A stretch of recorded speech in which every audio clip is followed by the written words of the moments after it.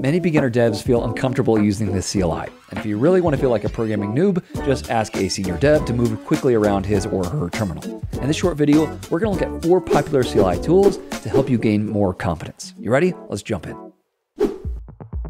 FZF or Fuzzy Find helps you quickly locate files in your system without having to memorize a bunch of complicated syntax. On macOS, I'll use Homebrew to install it, but the repo includes other installation options if you prefer or need a different method. Now, once I restart my terminal, if I type FZF without any other arguments, it will list out every file in my current directory. Next, if I start typing, I can fuzzy find files that match my entered string. By default, this just prints the file name to the command line, which isn't very helpful. But you can easily pipe this to another command. For instance, let's use the code command and then pipe whatever argument we end up with from our fuzzy find to open this file in VS Code. The real benefit here is you don't have to memorize the exact file name. Just type something you think is close to the name and FZF will locate it.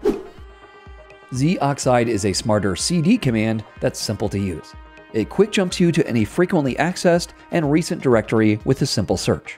And it works really well with FZF. To install it, you'll need to add the binary to your system. Just find your operating system and pick your preferred install method. I'll use Homebrew for macOS. Next, you'll need to add zoxide to your shell. The repo lists details for all the major shells. Since I'm using ZSH, I'll add the following to my .zshrc file. This tells ZSH to load the file each time you interact with your shell. That's it. Restart your terminal to get started. So what can zoxide do? Well, nothing by default. You have to trade it first by moving around your file system using the z command in place of the cd command. Normally, when moving to a new directory, you always have to provide the full path. But zoxide's memory can make intelligent guesses based on my previous directory changes. So instead of providing a full path, like websites, clients 2024, landing page, I can instead use path fragments, like z clients landing page. That's it. That's a lot better than having to memorize folder locations. zoxide includes one other feature that makes it a hundred times better interactive mode. And you have to install Fuzzy Find first, which we just did. Now, instead of using the Z, use the ZI command and press return for interactive mode. This shows all the directories you've moved to with zoxide. Start typing to narrow the results and then select one with your keyboard. If you're sold on zoxide, I recommend remapping cd to use zoxide on your system instead.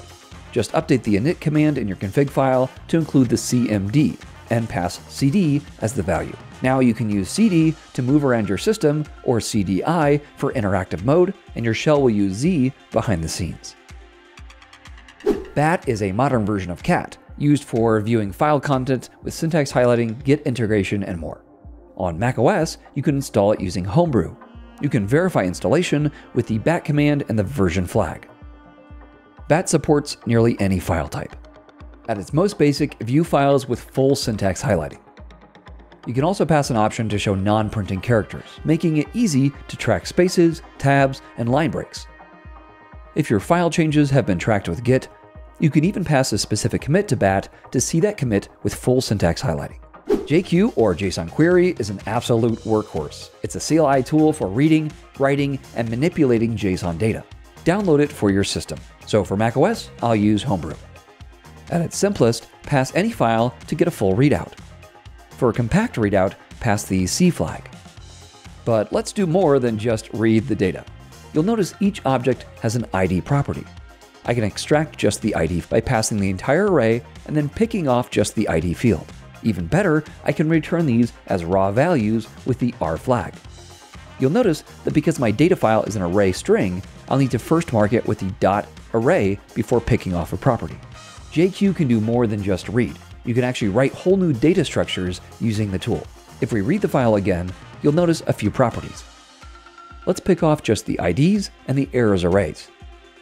This time, we'll pipe the entire array into a new object with two properties, new ID and errors. This returns back 535 lines of content. How cool is that?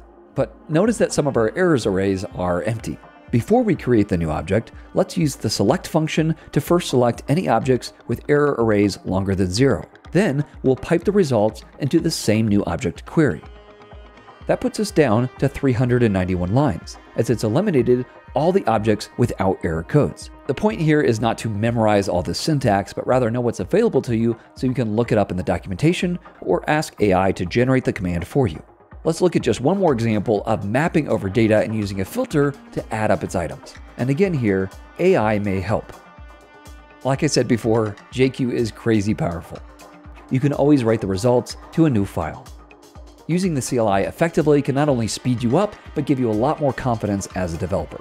What other CLI tools do you like, and do you want us to do more videos like this? Let us know in the comments below.